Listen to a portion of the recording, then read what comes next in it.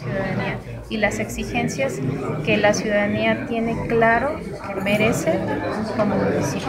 Entonces, ante esto, pues nosotros tenemos que apoyarlos y ellos también eh, tener una herramienta para poder acceder a la, información que se ¿Qué tiene tan en los medios. ¿Qué tan difícil será acceder pues, a, a los recursos? Digo, ya este ya es el último año para muchos diputados, legisladores, y pues creo que se cierran las, las convocatorias.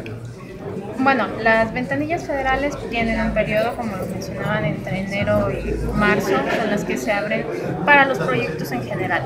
Este, sin embargo, como municipios hay este, otras áreas que a lo mejor les interesan a los alcaldes, que son la parte de la infraestructura, ¿no? la las viviendas, este, hacer eh, espacios eh, deportivos, educativos, eh, eh, todo este tipo de infraestructura que, bueno, ellos sí tienen otra metodología. Sin embargo, para la ciudadanía en general, sí las ventanillas se tienen que aprovechar entre enero y marzo más o menos. ¿Cuántos alcaldes fueron los que acudieron al llamado?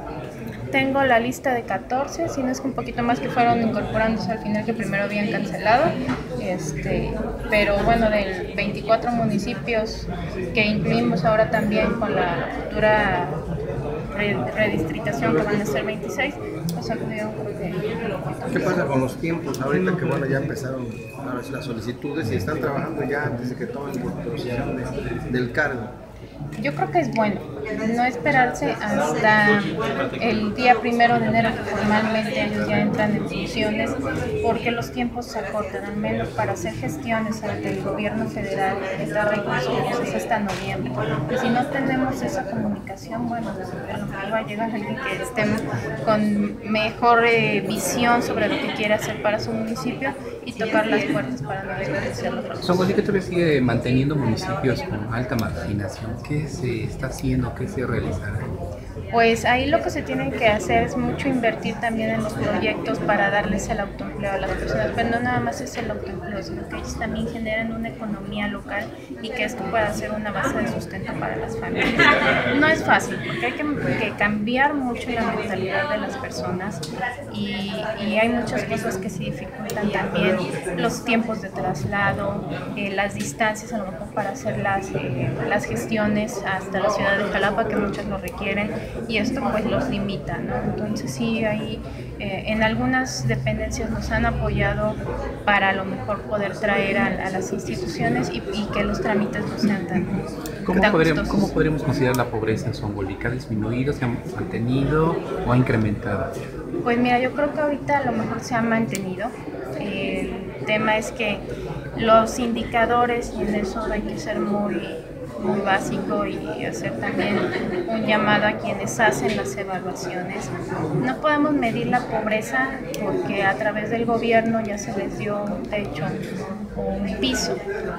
El tema es cómo obtuvieron ese techo, cómo obtuvieron ese piso, si es que fue por un recurso propio, porque a lo mejor iniciaron un negocio, o fue un apoyo que les dio el gobierno federal.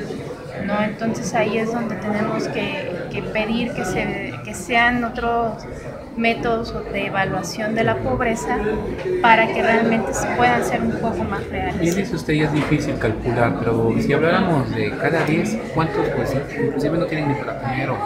Sí, desafortunadamente muchas familias se quedan sin comer eh, y la alimentación básica pues a lo mejor es el, lo que son los granos, el arroz, el frijol, este, alimentación básica también que necesitan los niños, la, la, leche, carne, o sea, una canasta básica que esté bien fundamentada, pues a veces no, no es fácil de acceso para, para las personas. Hablaríamos de que de cada 10, ¿cuántos? ¿3, 5?